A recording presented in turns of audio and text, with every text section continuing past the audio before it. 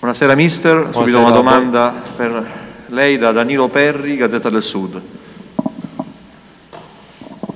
Mister, buonasera. Buonasera allora, al di là delle, sicuramente delle attenuanti di, eh, rispetto alla situazione che si è eh, scaturita, è scaturita nell'ultimo mese, di sicuro però l'atteggiamento della squadra è quello sbagliato, perché prendere gol in quel modo, dopo appena sei minuti, una squadra che deve lottare per eh, salvarsi, è sicuramente un- il peggiore inizio. Tre tocchi in aria, qualcosa di inspiegabile. Sì, il discorso sull'approccio è proprio quello, il discorso centrale, quello che è mancato alla squadra, l'approccio iniziale, perché è giusto mettere da parte per questo discorso le attenuanti, perché l'approccio comunque indipendentemente dal... ci poteva stare la non durata, ma l'approccio deve essere giusto, comunque, nonostante avevi due giorni di allenamento, dopo quasi un mese per alcuni, però l'approccio doveva, doveva essere quello giusto ed è lì il, il punto centrale e oltre ad alcune ingenuità che comunque alcune ingenuità alcuni calciatori non devono fare. Insomma. Walter Leone, Gazzetta dello Sport di Pocosenza. A parte l'approccio, io aggiungo che non c'è stata una reazione perché capisco che evidentemente le difficoltà del momento hanno eh, condizionato dal punto di vista fisico e di conseguenza mentale, lo sappiamo, se non ci sei con il fisico. Però ho visto alcuni calciatori molto in difficoltà.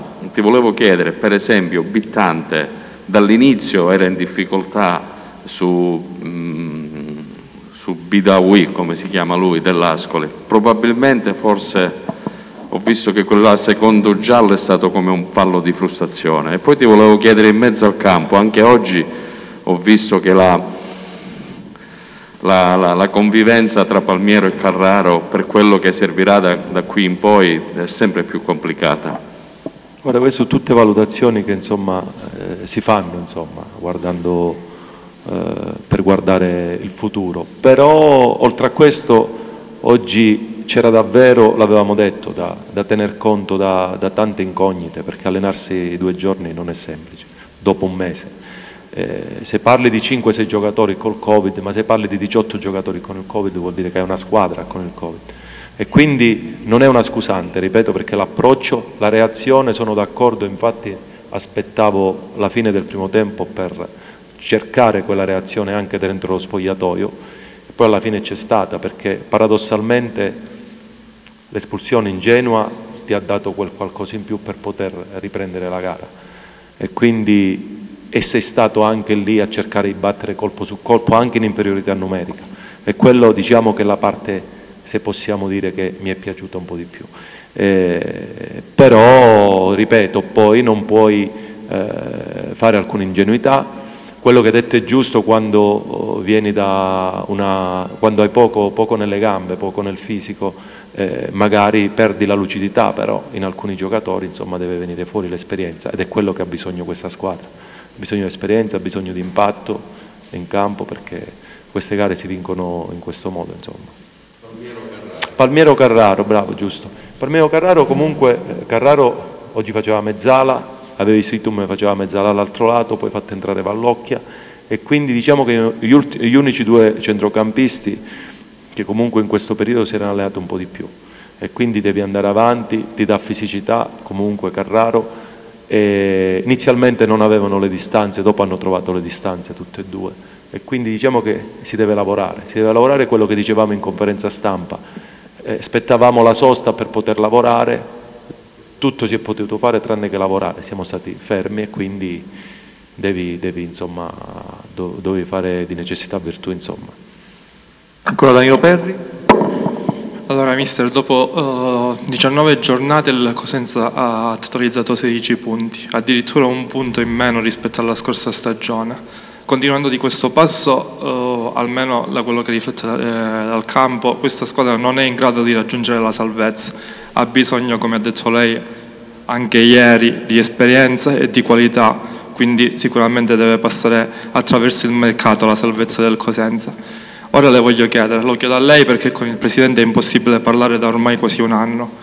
Che cosa le, che cosa le dice il Presidente al riguardo? Perché eh, lei ha parlato, ha bisogno di, di cinque uomini, ma cinque uomini comunque appunto di esperienza e qualità. Il Presidente è consapevole di questo? Sì, quello che già in passato è stato detto anche quando io non ero qua, che eh, c'è la volontà e la voglia di voler fare tutto quello che ha bisogno, insomma, eh, l'area tecnica da parte sua. Quindi eh, spero e sono sicuro che sarà la settimana decisiva per poter intervenire in modo, modo deciso, in modo concreto, in modo forte, eh, portare elementi a questi ragazzi che già, ripeto, ci sono eh, e hanno dimostrato, quando sono stati in condizione di poterlo fare, hanno comunque dimostrato il loro valore, però è giusto che non va, eh, cioè, è, è, palese che non basta tutto questo, quindi basta altro e questo periodo di mercato serve a poter intervenire nel modo giusto.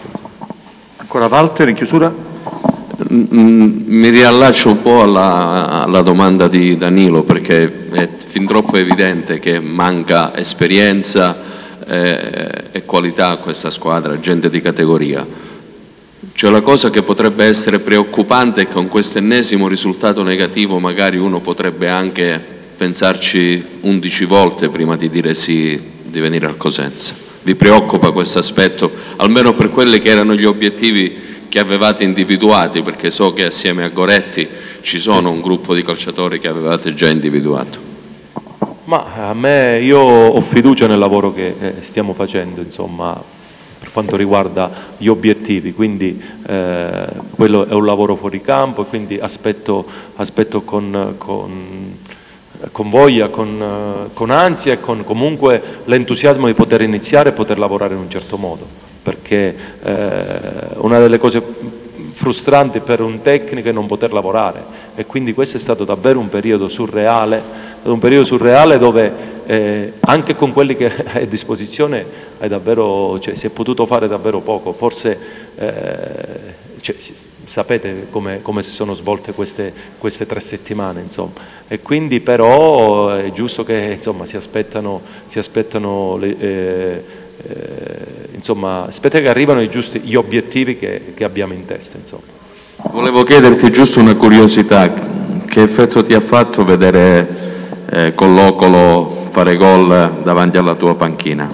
So che tu lo hai avuto nel settore giovanile, lo avevi anche segnalato in prima squadra, ma evidentemente c'era troppo cerume nelle orecchie di qualcuno. Ma lui, lui sta facendo il suo percorso, nel, il suo percorso di crescita, quindi eh, per la sua, sua carriera sono non sono contento per oggi, per quello che ha fatto oggi assolutamente, però eh, lui gli auguro sempre il meglio, è un ragazzo eccezionale, un ragazzo che sta dimostrando le qualità insomma, che comunque aveva dentro e le doveva togliere fuori, quindi ha un percorso importante, dovrà, insomma, eh, a lui l'inbocca al lupo di tutti. Insomma.